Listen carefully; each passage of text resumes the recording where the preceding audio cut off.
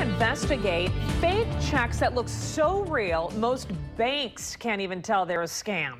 Robin Balthazar of Fond du Lac contacted NBC 26 after receiving this check in the mail. She was convinced it was legitimate until she called the bank to investigate, and what they said to her surprised her. NBC 26's Eileen Park is live at 6 with more.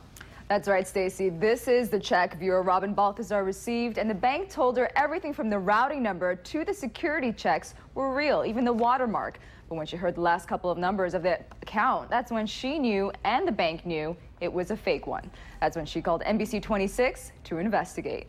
It used to be fake looking and now it's so real looking. Robin Balthazar was suspicious from the beginning. I pretended like I deposited it, but I really didn't because I knew it was a scam. She received a letter in the mail last week saying she won $150,000 and that this check was just the first payment.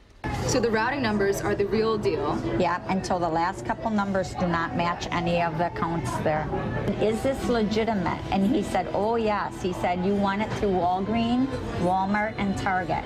Scammers using names of real companies, real banks, and real routing numbers. I know people myself that would fall for this.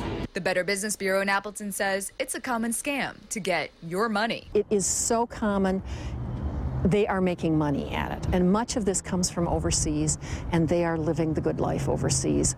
Joellen Wallach says scammers tell you to deposit the reward check and wire them money for taxes and fees. What happens is when you deposit it in the bank, by law, the bank has to release those funds within five days. It often takes the bank a much longer time to figure out that this is a counterfeit check. And by that time, most would have wired the money to the scammers. Once this is in your account and you send the money, there's there's no turning back. You're out the money. Robin says many of her friends and family have also received similar checks, but none as real as this, and that worries her.